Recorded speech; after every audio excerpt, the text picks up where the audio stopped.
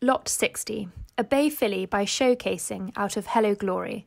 A winning daughter of Zamindar, Hello Glory ran third in the Group 2 Lowther Stakes and was also placed in the listed Michael Seely Memorial at York before producing the winners Godhead and Picture Frame. She herself is a half sister to dual listed winner Byberry Flyer, including the Radley Stakes and Flame of Tara Stakes at 2. The two time winner, Stately Princess, herself the dam of Group 3 Firth of Clyde Stakes winner Roger Sez, and the dam of Group 3 winner Tinnitus.